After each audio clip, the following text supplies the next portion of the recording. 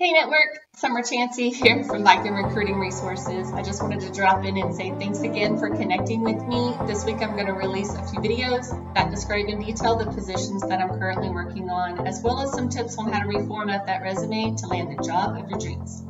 Comment below if you have an idea for another video that you'd like to see and we'll be sure to make it happen. Have an amazing week.